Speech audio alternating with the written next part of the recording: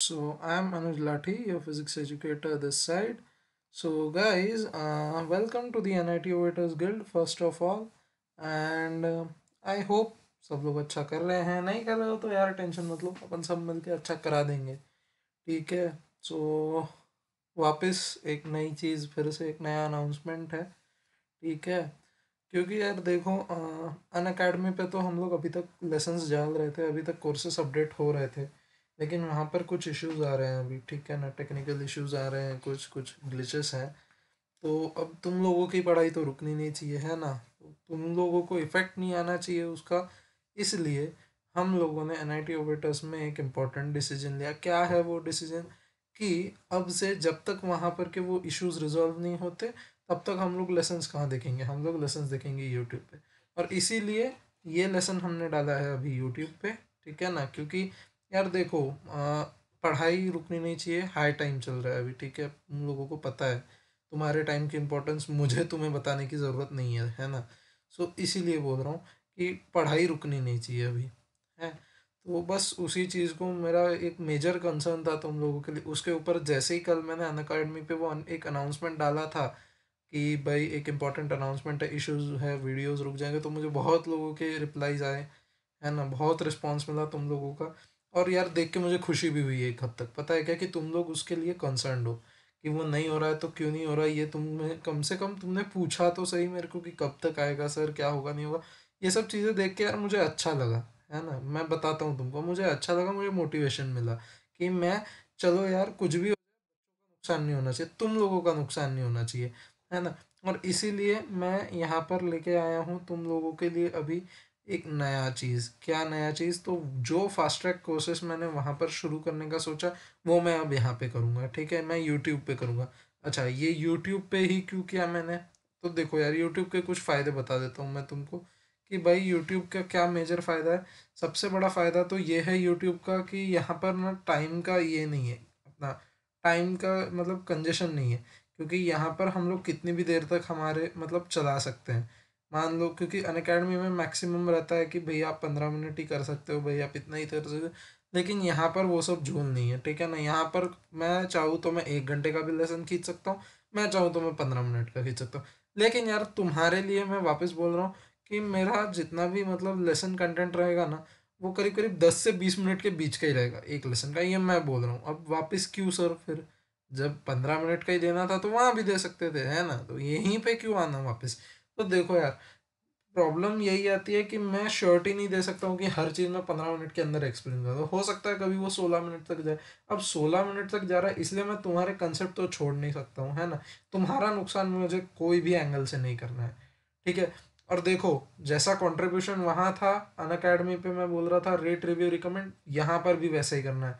Like share subscribe तीन चीज़ें हैं यहाँ पर। सब्सक्राइब करने के लिए तुमको कोई टाइम नहीं लगता यार। एक बेल बटन दबाना है, तुमको सब्सक्राइब का ऑप्शन क्लिक करना है। दैट्स इट मैं तुमको ये क्यों बोल रहा हूँ? क्योंकि देखो, जहाँ तक मेरा अभी कोर्स प्लानर चल रहा है, मेरे मेरे दिमाग में यही चीज़ चल रही है कि मैं करीब करीब हर रोज़ एक लेसन डालूँगा। ठीक है ना? तो वो हर रोज़ एक लेसन क्यों डालना है मुझे? क्योंकि तुम्हारा प्रैक्टिस तुम्हारा जो रिवीजन है, ये मुझे डेली रखना है। ठीक है ना? ऐसा नहीं है कि सर दो दिन किया कंटिन्यू फिर चार दिन का गया, फिर दो दिन किया। हाँ हाँ। मुझे चाहिए डेली रिवीजन ठीक है? क्योंकि नीट क्रैक करना इतना भी आसान नहीं है। सोचो, इतने लाखों कैंडिडेट्स के बीच में तुमको कुछ चंद मेडिकल सीट्स के लिए कम्पीट करना है, ठीक है? और जहाँ तक मुझे पता है, यहाँ पर मैक्सिमम लोगों का एम होगा एमबीबीएस कोई ये नहीं सोच के आया होगी कि, सर, मुझे बीडीएस में ही जाना है, यार, हमको तो डेंटिस्ट्री करनी सबके लिए, जहाँ तक मुझे पता है, जितने बच्चों को मैंने देखा, कुछ लोग होते हैं जिनका पहले से ही एम है कि भाई उनको डेंटिस्ट्री करनी है, उनको बीडीएस में ही जाना है। तो बात अलग है तुम लोगों की, ठीक है? तुम लोगों को भी, लेकिन फिर भी मेहनत तो करनी पड़ेगी, क्योंकि बीडीएस भी तुमको हवे में नहीं मिलेगा, है ना? मेहनत तो करनी है। अब मेहनत को शुरू कैसे करना है, ये सब चीज़ें तो हम अब आने वाले कुछ वीडियोस में मैं बताते रहूँगा बीच बीच में तुमको थोड़ा थोड़ा मोटिवेशन डोज मिलता रहेगा, ठीक है?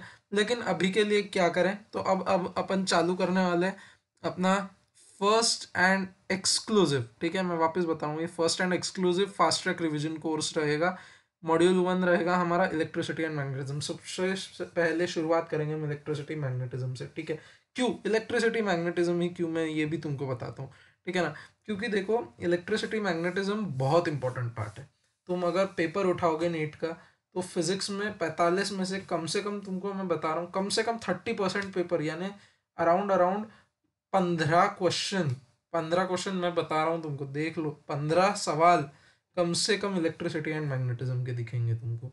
सब मिला के मतलब इलेक्ट्रिसिटी एंड मैग्नेटिज्म में सब आ गया, ठीक है ना? इलेक्ट्रोस्टैट्स भी आ गया, इसमें करंट इलेक्ट्रिसिटी भी आ गया, इसमें आरसी सर्किट्स भी आ गए, इसमें इलेक्ट्रिकल इंस्ट्रूमेंट्स भी आ गए मैग्नेटिज्म भी आ गया ईएमआई भी आ गया एसी भी आ गया, सब चीज़ें आ गई इसमें, ठीक है ना?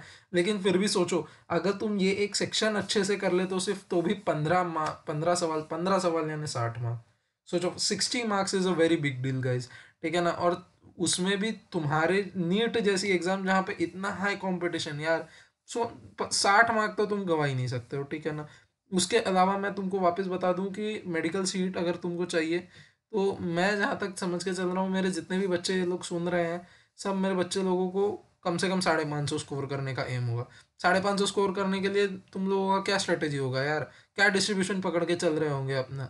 एक्सपेक्टेड डिस्ट्रीब्यूशन की तीन सौ मार्क बायो में ला लिए और भाई एक सौ एक सौ, सवा सौ नंबर ला लिए वन ट्वेंटी फाइव तक पहुँच गए केमिस्ट्री में, और बचे सौ नंबर फिजिक्स में। तो गाइज़ मैं बता रहा हूँ, जिसकी प्रैक्टिस नहीं है, उसके लिए फिजिक्स सबसे ज़्यादा टफ है। सड़े से सड़ा सवाल भी तुमको टफ जाएगा। और यही मेरा एम है कि मैं तुमको सड़े से सड़ा सवाल भी, तुम्हारे लिए टफ ना जाके उसको वापस सड़ा से सड़ा बनाऊँ, ठीक है ना? मुझे वही, वो वो जो गैप है तुम लोगों के बीच का, जो तुम लोग हाइप करके रखे हो, तुमने जो मतलब ओवर हाइप करके रखा है। यार, तुम लोगों में बहुत टेरर है फिजिक्स को लेके, मुझे पता है। ठीक है ना? और वही टेरर को मुझे ख़त्म करना है, ठीक है? सो इसीलिए अभी हमने, प्रणव ने, प्रशांत ने, हम सबने मिलके ये सब चीज़ें तुम्हारे लिए प्लान की है, ठीक है? सो अब से यूट्यूब के ऊपर वीडियो लेसन आते रहेंगे तुम्हारे, और मैं इसीलिए तुमको बोल रहा हूँ, वापस से लाइक शेयर सब्सक्राइब ये तीन चीज़ें रहेंगी मेन मोटिव क्यों? क्योंकि जब तक तुम ये नहीं करोगे, तुमको पता नहीं चलेगा कि अगर कोई नया लेसन या वीडियो अपलोड भी हुआ है तो क्योंकि अगर तुमको अपडेट चाहिए तो करो फिर। ठीक है ना? लाइक करो शेयर करो सब्सक्राइब करो। ठीक है? तो आओ शुरू करते हैं करंट इलेक्ट्रिसिटी से। पहला लेसन जिसमें हम कुछ बहुत ही इंपॉर्टेंट चीज़ें कवर करने वाले हैं। क्या करने वाले आइए बताता हूँ मैं तुमको। ऑल राइट गाइज़ सो जैसा मैंने बोला कि लेसन कंटेंट देखते हैं तो आओ मैं तुमको बताता हूँ कि ये जो पहला क्रैश कोर्स रहेगा इसमें हम लोग क्या क्या पढ़ने वाले हैं। सो so, इसमें हम लोग बेसिकली पढ़ने वाले हैं, सबसे पहले तो डेफिनेशन ऑफ़ करंट और कुछ इंपॉर्टेंट ग्राफ्स जो उस डेफिनेशन से हम लोग डिराइव कर सकते हैं, ठीक है? और वो ग्राफ्स बहुत इंपॉर्टेंट रहेंगे, ठीक है ना? याद रखना। उसके बाद में कुछ इंपॉर्टेंट टर्मिनोलॉजीज़ है, जो मैं तुमको बताना चाहता हूँ। चैप्टर शुरू होने के पहले हाँ ये बहुत बेसिक टर्मिनोलॉजीज़ है, बहुत ज़्यादा डीप में नहीं जाएँगे इनके, ठीक है? और वैसे भी, यार, देखो, ये क्रैश कोर्स है है ना? मैं कोई भी चीज़ मतलब तुमको ऐसा नहीं है कि एकदम डीप में जाके समझा दूँगा। कि भाई ये यहाँ से इलेक्ट्रॉन निकला, ऐसा हुआ, ऐसा कुछ नहीं होने वाला। ठीक है, मैं बस तुमको ये बताने वाला हूँ, तुमको क्या चीज़ें याद रखनी है और क्या चीज़ें भूल जानी है। मैं क्रैश कोर्स का मतलब एक्चुअली यही होता है, ठीक है ना? कौन सी चीज़ें तुमको याद रखनी है, कौन सी भूलनी है, बस यही बताते हैं क्रैश कोर्स में टीचर्स और मैं तुमको यही बता रहा हूँ, बस मेरे तरीके में, अलग तरीका है थोड़ा सा। क्या है तरीका? ये तुमको आगे पता चलेगा, ठीक है? उसके बाद में देखेंगे कुछ इंपॉर्टेंट फॉर्मूलेज ठीक है जो आ, इन दो पहले दो चीज़ों में जो हम पढ़ेंगे definition of current important graphs और टर्मिनोलॉजी से कुछ इंपॉर्टेंट फॉर्मूलेज निकलने वाले हैं वो फॉर्मूलेज देखेंगे। उसके बाद में हम देखेंगे टेम्परेचर डिपेंडेंस ऑफ़ रेजिस्टिविटी बहुत इंपॉर्टेंट पार्ट है ठीक है। डायरेक्ट इनडायरेक्ट क्वेश्चन आ सकता है तो इग्नोर नहीं कर सकते इस पार्ट को। उसके बाद में आएँगे important elements of DC circuits ये इंट्रोडक्शन रहेगा हमारे प्रॉब्लम सॉल्विंग को ठीक है ना। कि मान लो अगर आपको कोई सर्किट दिया है तो उसको आप पहले तो ये समझना ज़रूरी है ना यार कि सर्किट में कौन सी चीज़ क्या है। तो बस उन्हीं चीज़ों को डिफाइन करने के लिए मैंने वो एक सेक्शन रखा है तुम लोगों के लिए। ठीक है? सो so, आओ शुरू करते हैं कि ये पहला लेसन करंट इलेक्ट्रिसिटी का। ठीक है? चलो शुरू करते हैं। ठीक है गाइज़ सो चलो शुरू करते हैं करंट इलेक्ट्रिसिटी करंट एक चीज़ मैं तुमको पहले ही बता दूँ यार प्लीज़ यहाँ ये थोड़ा सा क्रॉपिंग का इशू आ गया है मेरे इसमें पीसी में। सो मैं तुमको रिक्वेस्ट कर रहा हूँ कि अभी जब मैं लाइन के इधर का पढ़ रहा हूँ तो इधर का ही पढ़ो, इधर का मत पढ़ो, ठीक है? सो मतलब स्टेप बाय स्टेप जाएँगे, है ना? ऐसे हड़बड़ नहीं करेंगे हम लोग, ठीक है? सो शुरू करते हैं करंट इलेक्ट्रिसिटी है ना? करंट इलेक्ट्रिसिटी करंट इलेक्ट्रिसिटी भाई करंट इलेक्ट्रिसिटी बहुत इंपॉर्टेंट चीज़ है। क्या होता है करंट शुरुआत इसी से करते हैं, भाई करंट होता क्या है? बोलते बहुत लोग हैं कि करंट करंट करंट तो होता क्या है? करंट आइए, इससे शुरुआत करते हैं। करंट का पहले तो बेसिक डेफिनेशन देखते हैं।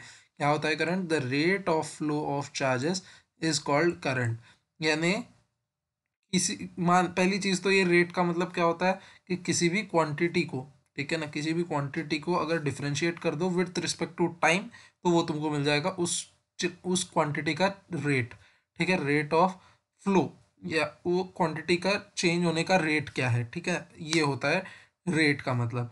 ठीक है, अब rate of flow of charges बोला तो चार्जेस का बेसिकली चार्ज ये जो क्वांटिटी है, इसको डी बाई डी टी कर दिया हमने डिफरेंशिएट कर दिया with respect to time so इसीलिए D by D T of Q यानी D Q by D T ये होता है करंट तो। D Q by D T is equal to I ठीक है, ये तुमको समझ में आया होगा, नहीं समझ में आया तो मैं वापस बता देता हूँ क्या कि रेट क्या होता है, किसी भी क्वांटिटी को जब हम डिफ्रेंशिएट करते हैं विथ रिस्पेक्ट टू टाइम तो वो हमें उस क्वांटिटी के चेंज होने का रेट पता चलता है तो बस वही मतलब है।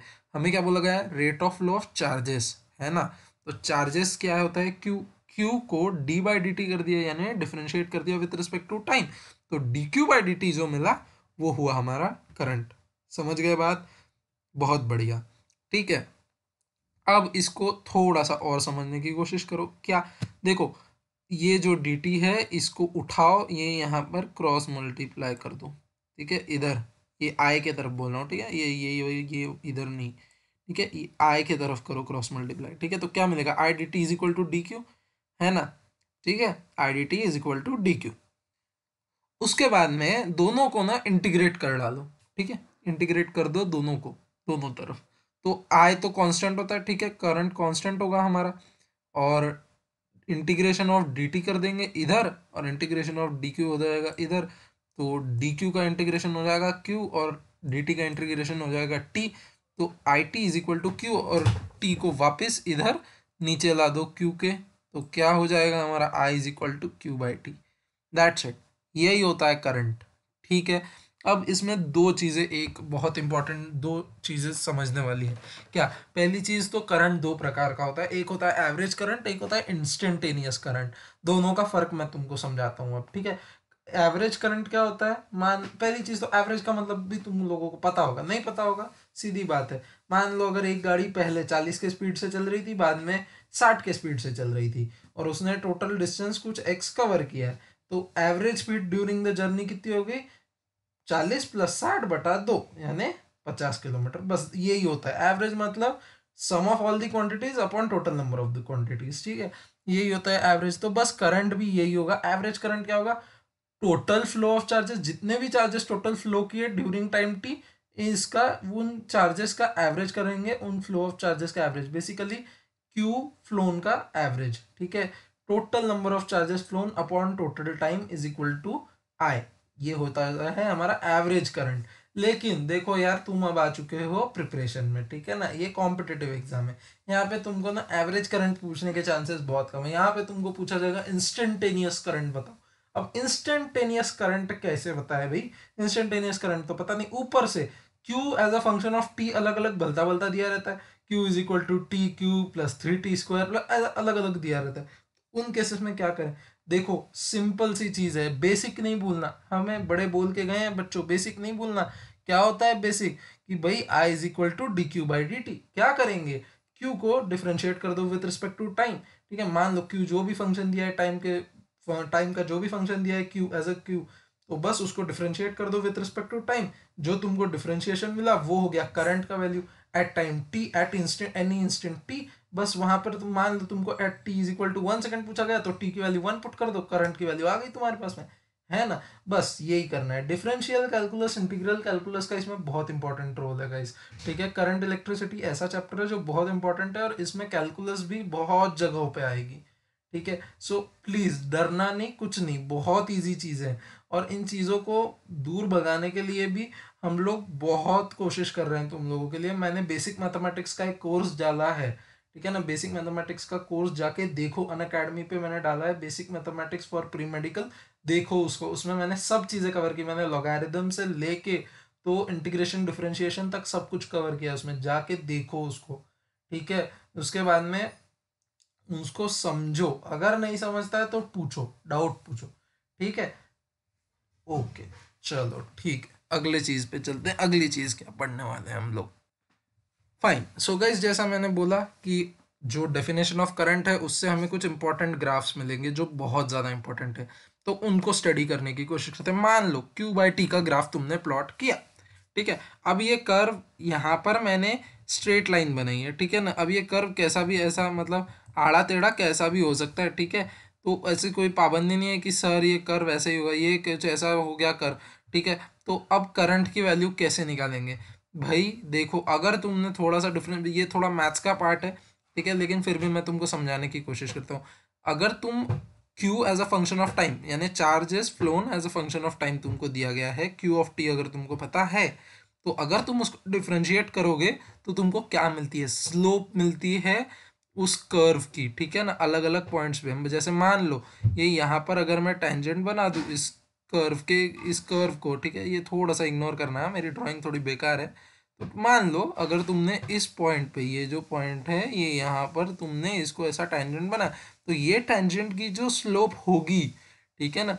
वो होगा उसका करंट उस पॉइंट पे, ये पॉइंट पे, यानी ये इंस्टेंट ऑफ़ टाइम पे, यानी ये टाइम पे, ठीक है? ये जो टाइम है इस पे करंट फ्लोन क्या होगी? इस लाइन की स्लोप की वैल्यू ठीक है? ये मतलब होता है करंट का।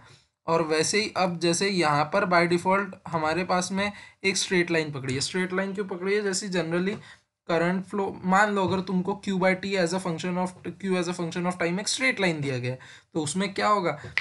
करंट की वैल्यू क्या होगी? तो भाई तुमको पता रहना चाहिए टेंथ स्टैंडर्ड में तुमने पढ़ा होगा नहीं पढ़ा होगा मैं याद दिलाता हूँ क्या होता है? कि भाई any line making angle theta with positive X axis has this slope tan theta है ना? तो अभी हमने देखा कि करंट की वैल्यू क्या होती है? स्लोप होता है क्यूटी कर्व का। अब यहाँ पर भी क्यूटी कर्व ही है। मान लो कर्व नहीं है तो क्या हुआ? लाइन तो है ना? कर्व भी एक लाइन लाइन भी एक कर्व हो सकता है, ठीक है? स्ट्रेट कर्व है वो। फ़र्क क्या पड़ता है? है ना? सो टैन थीटा यानी स्लोप की वैल्यू जो रहेगी, इस लाइन के लिए जो स्लोप रहेगी, वो हो जाएगा हमारा करंट का वैल्यू ठीक है, ये एक बहुत इंपॉर्टेंट कंक्लूजन है। इस चीज़ को मत भूलना। मैं वापस बोल रहा हूँ एग्ज़ाम में आ जाएगा, तुम हवा हो जाओगे कि सर कैसे करना था, कैसे करना था तो तब मैं तुमको याद दिलाऊँगा बच्चों, ऐसे करना था। ठीक है ना? भूलना नहीं इस चीज़ को। बहुत इंपॉर्टेंट चीज़ है ये। बहुत इंपॉर्टेंट चीज़ बता रहा हूँ मैं, ठीक है? ओके उसके बाद में आते हैं, मान लो आई टी ग्राफ दे दिया तुमको। ठीक है? अब थोड़ा सा इंटीग्रल कैलकुलस। ये हो गया हमारा पहला चीज़ हो गया डिफरेंशियल देख लिया हमने। I is equal to D Q by D T यहाँ पर आई को हमें कैसे निकालना पड़ा? क्यू को डिफ्रेंशिएट करना पड़ा। अब हम लोग क्यू निकालेंगे। क्यू कैसे निकालेंगे? Integral of I D T होता है ना? तो बस अब इंटीग्रल कैलकुलस का मज़ा देखो। ठीक है? मान लो तुमको आई टी कर्व ऐसा कुछ दिया गया। ये ऐसा कुछ आड़ा टेढ़ा कर्व दिया गया है। तो टोटल चार्ज फ्लोन अगर तुमको निकालने को बोला तो तुम कैसे निकालोगे? कर्व में से देख के कैसे बताओगे? बताओ मेरे को। है ना? बहुत बड़ी चीज़ है, ये बहुत इंपॉर्टेंट चीज़ है। तुम लोगों को नहीं आएगी। बहुत, आधे से ज़्यादा लोगों को नहीं आएगी, ये मेरे को पता है। और जिनको आती है ना, वो लोग भी कैलकुलेशन में बहुत एरर करेंगे इसमें, ये भी मुझे पता है। ठीक है? इसके लिए मैं तुमको बताता हूँ कि क्या करना पड़ता है। तो बेसिकली कर्व के अंदर जो एरिया होता है कर्व और पॉजिटिव एक्सिस के अंदर जो एरिया होता है ना, वो होता है, वो जिसको तुम इंटीग्रेट करके निकालने वाले हो। जैसे मान लो इस आईटी कर्व के लिए हमेशा याद रखना, कोई भी आईटी कर्व तुमको दिया गया हो, उस कर्व के अंदर का एरिया हमेशा क्या डिपिक्ट करेगा? चार्ज फ्लोन याद रखना, वापस, बहुत इंपॉर्टेंट चीज़ है। बहुत ज़्यादा डीप में मुझे जाना नहीं है, इसलिए मैं तुमको समझा भी नहीं पाऊँगा, क्योंकि तुमने इंटीग्रल कैलकुलस नहीं पढ़ी है, मुझे पता है, ठीक है ना? इसलिए मैं तुमको ज़्यादा डीप में नहीं समझा रहा हूँ। याद रखो, बस इस पॉइंट को, ये जो दो पॉइंट्स मैंने लिख के रखे, इन दो पॉइंट्स को नहीं भूलना, ठीक है? That is hence slope of a QT graph represents current and hence area under the I T graph represents total charge flow that's it इतना ही तुम्हारे काम का है, याद रखो। ठीक है? इसके ऊपर न्यूमरिकल आए ना गाइस मेरा गलत नहीं होना चाहिए तुम लोग का। जिसने जिसने ये वीडियो देखा, किसी का गलत हुआ तो तुम सोच लेना। ठीक है ना? मुझे किसी ने बोलना नहीं चाहिए नीचे आके कमेंट्स में कि, सर, आपने ये बताया था, मैंने फिर भी ये गलत कर दिया। नहीं, मुझे ये सब चीज़ें नहीं सुननी गई ठीक है ना? क्योंकि यार मैं इतने अच्छे से तुमको समझा रहा हूँ, बहुत सिंपल टर्म्स में समझा रहा हूँ। तुम कोई किताब उठाओ, ठीक है ना? कोई भी किताब उठाओ तुम ठीक है? उसमें तुमको इतना कॉम्प्लेक्स तरीके से समझाया गया होगा, मैं तुमको शर्त लगा लो, मेरे से तुमको आधी किताबें तो समझ में भी नहीं आएगी, कि उनका बोलने का मतलब क्या था। इसलिए मैं तुमको बहुत सिंप्लीफाइड तरीके में समझा रहा हूँ, ठीक है? चलो, अगले चीज़ पे जाते हैं। फाइन सो गाइज़ अगली चीज़ क्या है? इंपॉर्टेंट टर्मिनोलॉजीज ठीक है? इंपॉर्टेंट टर्मिनोलॉजीज में पहली टर्मिनोलॉजी क्या है हमारे लिए? पहली टर्मिनोलॉजी है ड्रिफ्ट वेलोसिटी क्या होती है ड्रिफ्ट वेलोसिटी बेसिकली देखो, मैंने नीचे डेफिनेशन दिया है अच्छे से। क्या होती है drift velocity the average velocity attained by electrons in presence of field अब फ़ील्ड क्या है? फ़ील्ड को अगर तुमको पढ़ना है तो अन अकेडमी में एन आई टी ओवेटर्स गिल्ड के इस प्रोफ़ाइल में तुम जाके देखो। मैंने फास्ट ट्रैक कोर्स के नाम से एक कोर्स ऐड किया है। उसमें इलेक्ट्रोस्टैट्स मैंने शुरू कर दिया था। इलेक्ट्रोस्टैट्स रादर वहाँ पे पूरा खत्म हो चुका है तो तुम वहाँ पर जाके देख सकते हो, ठीक है ना? इलेक्ट्रोस्टैट्स का पूरा कोर्स वहाँ पर अपलोडेड है, ठीक है? वहाँ पर जाकर देखो इलेक्ट्रोस्टैट्स का कोर्स तुमको वहाँ पर पूरा समझ जाएगा कि फ़ील्ड क्या होती है, कैसे होती है, ठीक है? सो मान लो, जब भी कोई फ़ील्ड एक वायर पकड़ लो, एक वायर को तुमने बैटरी को कनेक्ट कर दिया। एक ऐसा सादा सिंपल कॉपर वायर लो बैटरी के दोनों एंड को कनेक्ट कर दो। ठीक कनेक्ट करने के बाद में इलेक्ट्रॉन्स का फ्लो होगा, है ना? लेकिन इलेक्ट्रॉन्स का फ्लो होगा क्यों?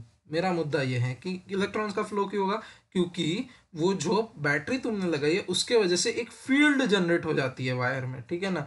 और वो फ़ील्ड के वजह से जो इलेक्ट्रॉन्स होते हैं, उनको वेलोसिटी मिलना चालू हो जाता है। वो फ़ील्ड में, जैसे अब देखो, तूफ़ान आता है, तूफ़ान में हवा का झोंका आता है तो सब सब चीज़ें उड़ने लग जाती है, सब कपड़े वगैरह, सब चीज़ें उड़ जाती है है ना? फ़ील्ड भी वही एक तरीके का तूफ़ान है, जो इलेक्ट्रॉन्स के ज़िंदगी में आता है और उनको बहा के लेके जाता है है ना? और इसीलिए करंट का फ्लो होता है। सीधी सिंपल भाषा में मैं तुमको समझा रहा हूँ, ठीक है? सो ड्रिफ्ट वेलोसिटी वही वेलोसिटी एवरेज वेलोसिटी है जिस वेलोसिटी से इलेक्ट्रॉन्स फ्लो करते हैं, ठीक है? आई होप तुमको समझा होगा, नहीं समझा होगा, वापस रिवाइंड करके देखो, और कुछ नहीं बोल सकता इसमें क्योंकि ये बहुत सिंपल टर्म्स में समझा। मतलब ट्रस्ट मी मैंने इससे गवार तरीके में आज तक कभी नहीं समझाया कि तूफ़ान वूफान वाले में एग्ज़ाम्पल मैंने आज तक नहीं लिए ठीक है ना? सो so, थोड़ा सा तुम देखो वापिस देखो तुमको समझ जाएगा ठीक है? तो मान लो ये एक कंडक्टर है ठीक है? ये एक कंडक्टर है हमारे पास में ठीक है? और इस कंडक्टर में हमारे पास में आ, ये था मान लो ये ऐसे फ्री इलेक्ट्रॉन्स पड़े हुए हैं हमारे पास में ठीक है? इन इलेक्ट्रॉन्स को अब जैसे ही हमने और ये इसका क्रॉस सेक्शन है एरिया का ठीक है? ये भी मैं आई होप तुमको पता होगा कि एरिया ऑफ़ क्रॉस सेक्शन क्या होता है। ये मुझे तुमको बताने की ज़रूरत नहीं है ठीक है? ये जो है ये एरिया होगा मान लो ठीक है? सो so, इनकी ड्रिफ्ट वेलोसिटी मान लो हमने लिखी वी डी से तो वी डी को हम लोग कैसे लिख सकते हैं? I is equal to N E A V D अब यहाँ पर मैं तुमको चीज़ें बताता हूँ क्या क्या होती है। ए होता है एरिया ऑफ़ क्रॉस सेक्शन बताने की ज़रूरत नहीं है बहुत चिंदी चीज़ है ठीक है? उसके बाद में एन ये सबसे खतरनाक चीज़ है। यहाँ पर आधे से ज़्यादा लोग कंफ्यूज हो जाते हैं। फॉर्मूले ही नहीं समझ पाते बेचारे, है ना? एन की वैल्यू क्या है यहाँ पे? नंबर ऑफ़ इलेक्ट्रॉन्स नहीं है number of free electrons per unit volume है। ठीक है ना? कई बार ऐसा होता है, वो लोग फ्री इलेक्ट्रॉन्स देते थे और वॉल्यूम देते थे। हम लोग सीधे सीधे इलेक्ट्रॉन्स की वैल्यू उठा के डाल देते अरे भाई, पहले उसको वॉल्यूम से डिवाइड करो, क्योंकि जो फॉर्मूला है, उसमें number of free electrons per unit volume है। Direct number of free electrons नहीं है पर यूनिट वॉल्यूम ये चीज़ मत भूलो बे, बहुत इजी चीज़ है ये, ठीक है? ऑल राइट ई क्या होता है? चार्ज होता है इलेक्ट्रॉन का क्या है? Charge one point six into ten to the power minus nineteen coulomb right I क्या है? करंट फ्लो जो हो रहा है हमारा वो, और वी डी जो है वो है ड्रिफ्ट वेलोसिटी और ड्रिफ्ट वेलोसिटी हम लोग इस फॉर्मूले से दे सकते हैं। क्या? I is equal to N into A into E into V D N E A into V D ठीक है? फाइन अब आते हैं अगले इंपॉर्टेंट टर्मिनोलॉजी पे। क्या है? आओ देखते हैं। फाइन सो so, अगली इंपॉर्टेंट टर्मिनोलॉजी जो है हमारी वो है मीन रिलैक्सेशन टाइम ठीक है? टाओ इसको टाओ बोलते हैं। टी को थोड़ा टेढ़ा तरीके से लिखने का वो बन जाता है हमारा टाओ ठीक है? सो so, टाओ का बेसिकली क्या होता है? टाओ का मतलब क्या होता है? मीन रिलैक्सेशन टाइम क्या होता है? उसका डेफिनेशन समझने की कोशिश करो, ठीक है? मीन रिलैक्सेशन टाइम क्या होता है? अब देखो, वापस जैसे मैंने अभी थोड़ी देर पहले बताया कि तुमने मान लो एक बैटरी ली बैटरी को वायर लगाया इलेक्ट्रॉन फ्लो होना चालू हो गया अब देखो, जैसे तूफ़ान आता है, सब चीज़ें उड़ना चालू हो जाती तो एक दूसरे को टकराती भी हैं चीज़ें, है ना? लेकिन ऐसे ही, पता है क्या? जब फ़ील्ड जनरेट होती है और इलेक्ट्रॉन्स फ्लो होते हैं तो हमेशा इलेक्ट्रॉन्स एक दूसरे को टकराते हैं। लेकिन एक इलेक्ट्रॉन दूसरे इलेक्ट्रॉन को टकराएगा तो वापस भी जाएगा और वापस फिर किसी दूसरे से टकराएगा तो जो टाइम उसने नहीं टकराया, जैसे मान लो अभी मैं टकराया, थोड़ी देर बाद में वापस टकराया, लेकिन अभी और बाद में जितना टाइम इलेप्स हुआ, जितना टाइम निकला, जितने देर तक मैं नहीं टकराया, उस टाइम को बोलते हैं मीन रिलैक्सेशन टाइम समझो ना यार, हमेशा तो इलेक्ट्रॉन बेचारा ठुक रहा है, इधर टकरा रहा है, उधर टकरा रहा है। उसने टाइम में जब वो उसने नहीं टकराया वो और किसी से तो वो रिलैक्स रहा ना। बस ऐसे समझने की कोशिश करो कि मेन रिलैक्सेशन टाइम क्या होगा? उतना टाइम जब वो किसी से नहीं टकराया किसी से कोलाइड नहीं हुआ, है ना? उसको बोलेंगे मीन रिलैक्सेशन टाइम ये कैसे निकालते हैं? इसके लिए हमने दो तरीके निकाले। ठीक है, दो फॉर्मूलेज हैं इसमें निकालने के लिए।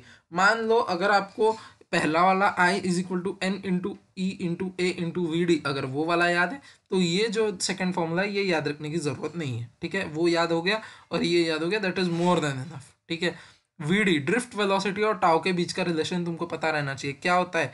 ई इंटू बड़ा E upon M into tau ये होता है ड्रिफ्ट वेलोसिटी ठीक है? यहाँ पर छोटा ही क्या है? इलेक्ट्रॉन का चार्ज बताया मैंने। बड़ी क्या है? फ़ील्ड ठीक है? फ़ील्ड बहुत बड़ी चीज़ है, ठीक है? और एम क्या है? मास ऑफ़ इलेक्ट्रॉन और टाव क्या है हमारा? टाव है हमारा मीन रिलैक्सेशन टाइम ठीक है?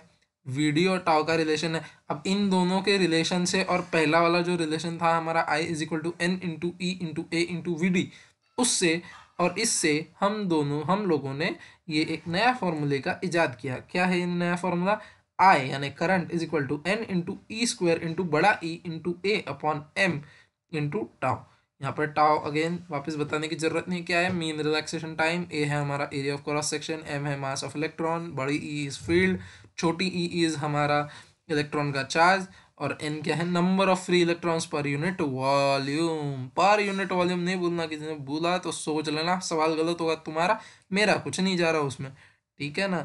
All right. चलो अगले कॉन्सेप्ट की तरफ़ बढ़ते हैं।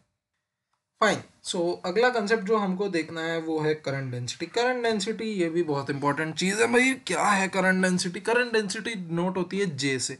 ठीक है? J stand for current density and J is given by sigma into E E क्या है? फ़ील्ड ठीक है? याद रखना electric field is always denoted by बड़ा ई मैक्सिमम टाइम्स बड़े ई e मतलब होता है इलेक्ट्रिक फ़ील्ड कई बार उसको ईएमएफ e भी बोलते हैं, यानी पोटेंशियल डिफरेंस को भी डिनोट किया जाता है बड़े ई से, लेकिन फिर उसके ऊपर एरो एरो नहीं होता है। ठीक है ना? क्योंकि पोटेंशियल डिफरेंस जो होता है वो वेक्टर स्केलर क्वांटिटी और फ़ील्ड जो है वो वेक्टर है। ठीक है? याद रखना करंट डेंसिटी भी वेक्टर क्वांटिटी है। ठीक है? याद रखो। All right so current density J is always given by the formula sigma into E यहाँ पर सिग्मा क्या है? N into E square into tau upon M sigma को क्या बोलते हैं? कंडक्टिविटी याद रखना कंडक्टिविटी बोलते हैं सिग्मा को। कंडक्टिविटी का फॉर्मूला क्या है? Number of free electrons per unit volume into charge of electron square into relaxation time upon mass of electron ठीक है? याद रखना। ग्रेट सो करंट डेंसिटी को अब आम भाषा में समझने की बात करते हैं। करंट डेंसिटी होगी क्या? Basically current density per unit volume नहीं होती है पर यूनिट एरिया निकालते हैं हम लोग करंट डेंसिटी डेंसिटी जो करंट की होती है, वो पर यूनिट एरिया दी जाती है। क्योंकि भाई, एक क्रॉस सेक्शन एरिया से करंट फ्लो करता है है ना? एक वॉल्यूम के ऊपर से करंट थोड़ा फ्लो करता है कि भाई, एक लीटर वॉल्यूम के अंदर करंट फ्लो हुआ।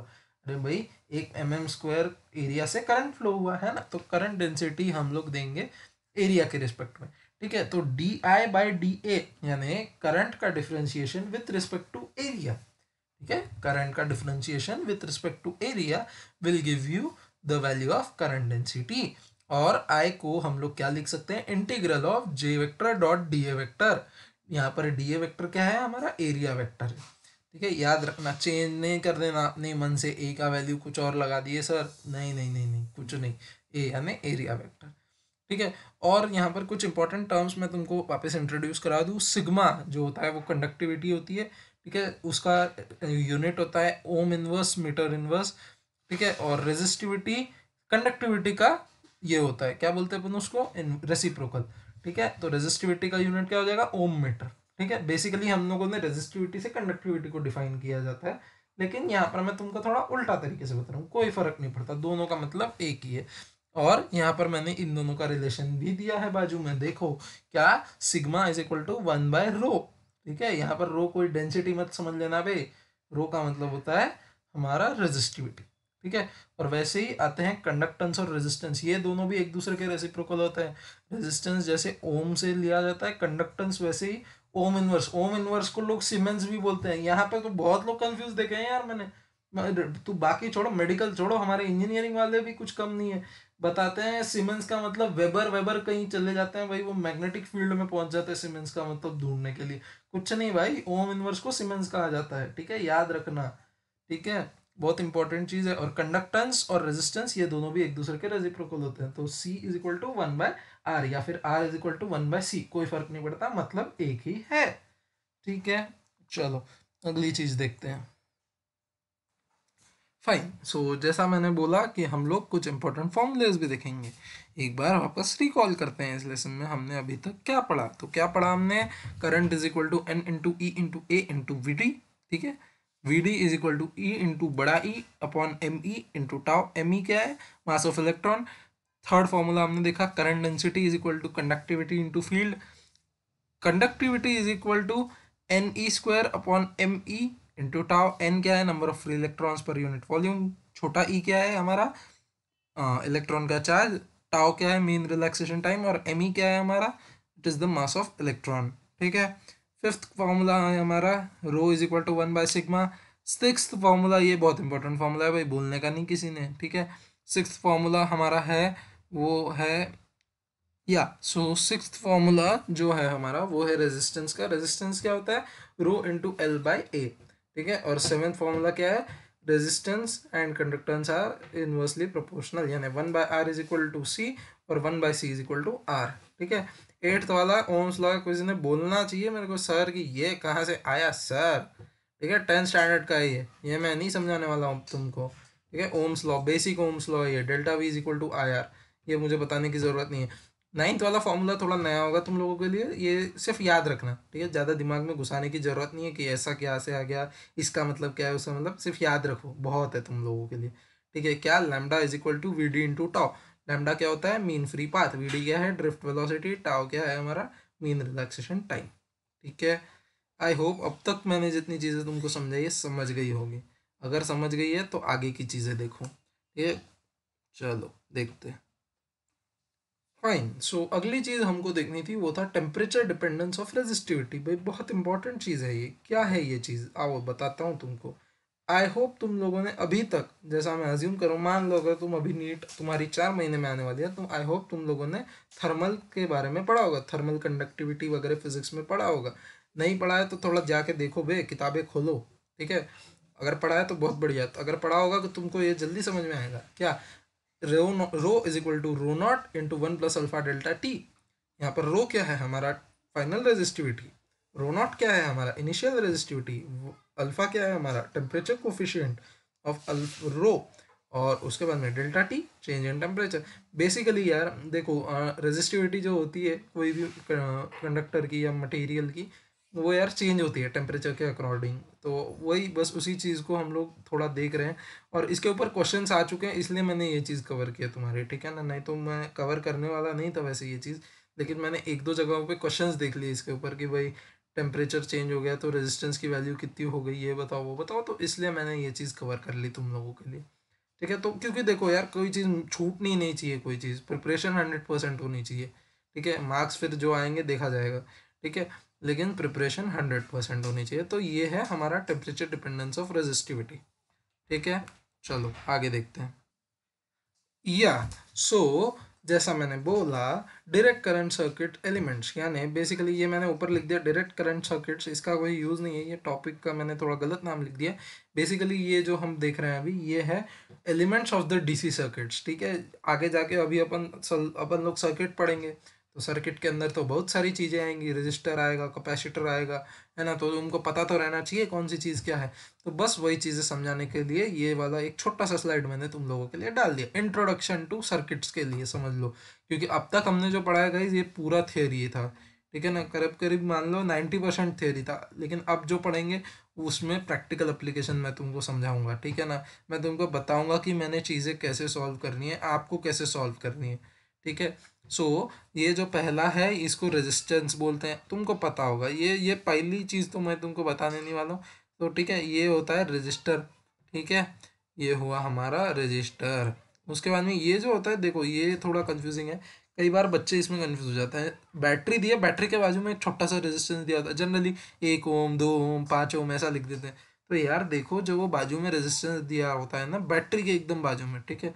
ऐसा ज़रूरी नहीं है, ये कहीं रूल नहीं लिखा है कि बैटरी के बाजू में दिया है तो वो इंटरनल रेजिस्टेंस ही होगा। जनरली इंटरनल रेजिस्टेंस अज्यूम किया जाता है, ठीक है? क्योंकि देखो, कोई भी बैटरी जो होती है वो आइडियल तो होती नहीं है, ऐसा तो है नहीं कि सिर्फ़ पोटेंशियल डिफरेंस अप्लाई करेगी और छोड़ देगी। उसका भी खुद का कोई इंटरनल रेजिस्टेंस होता है ना? तो बस वही इंटरनल रेजिस्टेंस होता है हमारा आर बैटरी का, ठीक है? पोटेंशियल डिफरेंस मान लो अगर वो वी अप्लाई कर रहा है तो थोड़ा सा एक छोटा सा इंटरनल रेजिस्टेंस भी उसको आता है आर का, ठीक है? उसके बाद में आता है कैपेसिटर भाई, इससे तुम लोग अभी तक वाकिफ नहीं हो तो हो जाओ।